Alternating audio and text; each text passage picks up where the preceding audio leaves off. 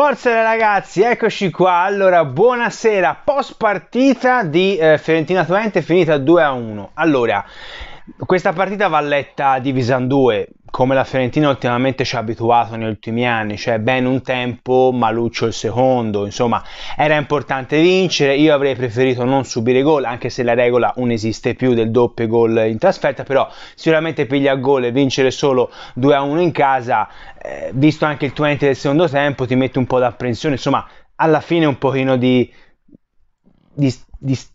di culino e ci è venuto un po' a tutti, bisogna essere onesto. Comunque adesso andremo anche a parlare un po' di questa Fiorentina eh, in versione europea, finalmente siamo tornati comunque a giocare all'Europa. Eh, prima di tutto vi invito a iscrivervi al mio canale YouTube, ragazzi, come sempre, sostenetemi anche sugli altri miei social, trovate qua sotto il link in descrizione di Instagram e Facebook. In questo video, ragazzi, vi chiedo tanti like se avete eh, piacere, commentatelo e condividetelo, ragazzi, ditemi anche il vostro migliore in campo, il vostro peggiore in campo della Fiorentina. Allora, ragazzi, ripeto il risultato, Fiorentina Twente 2 a 1, eh, va a segno Gonzales dopo 60 secondi che sicuramente avvia un primo tempo dove il Twente sicuramente è stata poca cosa grazie anche alla Fiorentina che ha pressato alta, ha sempre giocato sulle seconde palle, ha sempre giocato sui contrasti, sempre, ha sempre cercato di tenere il pallino eh, del gioco e quando l'ha fatto nel primo tempo il Twente rispetto alla Fiorentina era poca cosa, bisogna essere onesti. Segna anche Arthur Cabral, The King Arthur Cabral, sono molto contento in una bella azione, una bella scivolata, insomma, di rapina da attaccante eh, cattivo, insomma, che ne approfitta, insomma, la Fiorentina nel primo tempo mi è piaciuta particolarmente, mi sono piaciuti veramente tutti. Eh, dopo vi darò anche un po' di pagelle, ovviamente, perché farò tutto pagelle e post partita in questo video.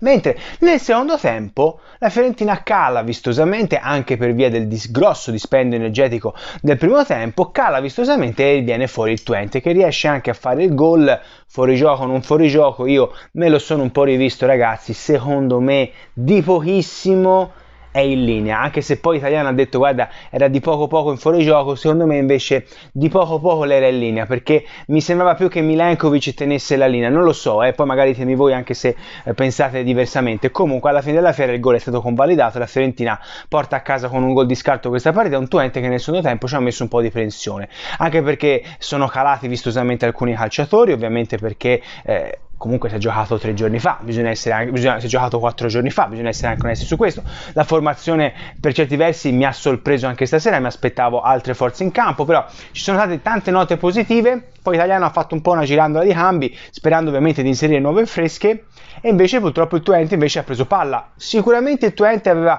più minutaggio nelle gambe perché lo sappiamo, ha giocato molte più partite rispetto alla Fiorentina ufficiali, quindi dove c'è un'apprensione, ci sono i tre punti in palio, ci sono delle qualificazioni in palio, quindi sicuramente il Twente partiva più avvantaggiato di noi e l'ho detto anche nel video di ieri nel pre-partita a livello di eh, forza fisica anche mentale, ma soprattutto anche di tenuta atletica. La Fiorentina infatti è calata molto nel secondo tempo. Alcuni subentrati non mi sono piaciuti nell'atteggiamento, eh, ma ne approfondirò un pochino dopo, però alla fine bisogna dire una cosa ragazzi. Bene ma non benissimo, però era importante vincere, era importante portarsi a casa questo primo tempo mettiamola così perché questa partita si gioca in doppia sfida, quindi il primo tempo è a tinte viola, ovviamente ora testa all'Empoli, poi avremo modo di ripensare ovviamente all'Europa, però la Fiorentina è chiamata a un tour de force in, questa, in questo inizio di stagione che ci accompagnerà fino a fine agosto, quindi la Fiorentina è chiamata anche a girare un po', quindi l'italiano è giusto che abbia girato un po', anche se poi eh, Venuti per esempio non voleva uscire dal campo, però secondo me è giusto dare anche minutaggio a Dodò perché tra Venuti e Dodò, ragazzi, il titolare del futuro sarà comunque Dodò, anche se ripeto, in questa stagione se si porta avanti il più possibile tutte le competizioni, qui e giocano tutti, detto questo. Parlando invece, eh, e vi ho fatto un po' diciamo, la mia opinione sul fatto del, della Fiorentina in campo che mi è piaciuto il primo tempo, non bene il secondo, per niente, non mi è piaciuto per niente l'atteggiamento del secondo, calata vistosamente. Passiamo al pagellone di Mister Viola, dove a Terracciano ragazzi gli diamo un 6 politico perché sull'intervento del gol non poteva fare niente, comunque sicuro nelle uscite, sicuro coi piedi, ha rischiato poco, un 6 politico. Ai due centrali, Nastasic, allora a Nastasic gli voglio dare un 6 meno perché devo dire che è sempre stato un po', uh, il primo tempo ha fatto due o tre sbarioni che a me mi sono sono piaciuti, anche scelte un po' eh, così, però alla fine del secondo tempo ha retto botta, ha scaricato questi palloni in fallo laterale, insomma c'è stato lì, ha dato mano comunque alla difesa, è un 6 meno, non mi è piaciuto particolarmente Nastasic, però non mi sento di dargli un insufficiente, mentre a Milenkovic gli do tranquillamente un 6 più, ha retto la difesa, eh, sul fatto del gol eh, la linea era quella, quindi non gli voglio dare troppe colpe, anche lui qualche rischio se l'è preso, però devo dire che là in difesa è sempre stato un bel baluardo. Mi è piaciuto molto Venuti, Venuti credo abbia fatto una grande partita di dispensio energetico, gli diamo un bel 6,5, mi è piaciuta la spinta, mi è piaciuto in fase di, di, non possesso, mi è piaciuto anche in fase di recupero, quindi insomma eh, bravo Venuti. Per quanto riguarda Biraghi, anche lui non ha fatto una grandissima partita, gli do un 6, un 6 tranquillo, qualche punizione secondo me poteva eh, gestirla un pochino meglio, però detto questo ha fatto la sua partita, sulla falsa riga della partita che ha fatto la Cremonese, insomma diciamo ha fatto il suo. A centrocampo voglio premiare subito sia Malek che Amarabat, eh, Amarabat ragazzi eh, gli do un 7 più perché stasera è stato mostruoso, se avesse fatto gol gli avrei dato 8 e mezzo perché Amarabat ha recuperato palloni, ha lottato, eh, è sempre stato su tutte le zone del campo, eh, ha giocato una miriade di palloni, ha vinto una miriade di contrasti, mi è piaciuto veramente tanto, sta crescendo in una maniera impressionante Amarabat in questo luogo, in questo ruolo. Mi è piaciuto anche ovviamente Malè che anche se nel secondo tempo è calato vistosamente, vista anche la punizione, la munizione presa proprio perché eh, si vedeva che era, un, era stanco, era cotto, però mi è piaciuto. 7 meno eh, perché comunque anche in qualche situazione poteva fare un pochino meglio. Bene Duncan, mi è piaciuto nel primo tempo per il minutaggio che gli ha concesso eh, mister Vincenzo Italiano, è un 6 più senza problemi, anche lui nel primo tempo qualche, qualche, pensiero, anche qualche tiro da fuori, anche se non registrato benissimo, l'ha fatto, quindi sicuramente muscolarità a centrocampo. Parlo ovviamente anche di Mandragola, visto che l'ha sostituito, un ingresso eh, così. Non mi è piaciuto tantissimo l'impatto di Mandragola, però ha lottato nella mischia, non mi sento di dargli un'insufficienza, gli do tranquillamente un 6. Parlo ovviamente ovviamente anche di Dodò, però non mi sento di dare un voto a Dodò, quindi per me è senza voto, come senza voto anche qua a me, è entrato pochissimo, ha giocato pochissimi minuti.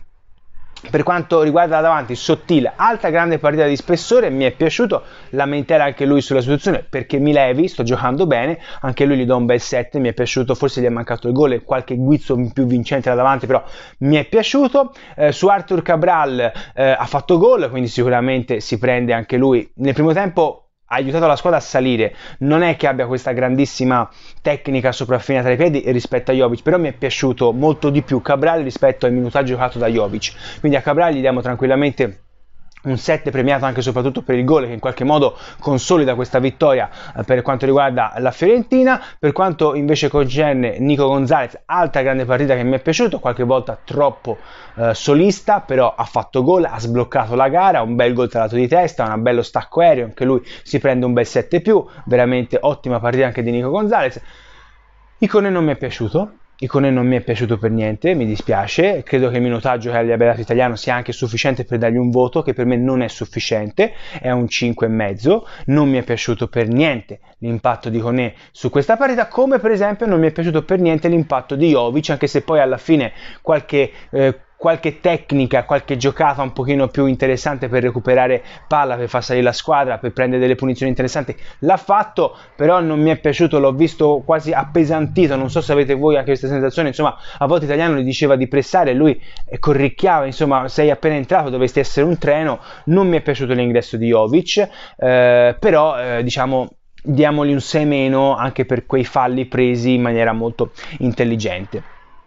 Credo di aver eh, detto eh, tutti, se non mi sbaglio ragazzi se mi manca qualcuno eh, scrivetemelo pure, voglio sapere i vostri commenti. Per chiudere questo video ragazzi il pagellone ve l'ho dato, migliore in campo ovviamente Amrabat, peggiore in campo per quello visto e per come si è presentato e non mi è piaciuto è un parolone dire peggiore in campo, però non mi è piaciuto proprio eh, l'ingresso, l'idea è Icone, mi dispiace, mi dispiace veramente dirlo, devo essere onesto. Per quanto riguarda Fiorentina 2, Twente 1, la Fiorentina vince l'andata dei preliminari per l'accesso della Conference League, c'è sicuramente fiducia anche per il ritorno in terra olandese. Non sarà per niente facile perché il Twente in casa gioca bene e sicuramente sarà spinta anche il proprio pubblico che proverà a ribaltare questo risultato che secondo me avrebbe dovuto essere molto più tondo soprattutto per un primo tempo dove la Fiorentina di occasioni per segnare non ne ha avute soltanto due. Come sempre ragazzi forza viola ci vediamo in settimana per parlare ovviamente della sfida del derby perché ora è tornato e bisogna riparlare ovviamente di campionato. È un rush in continuazione ragazzi Forza Viola, ciao!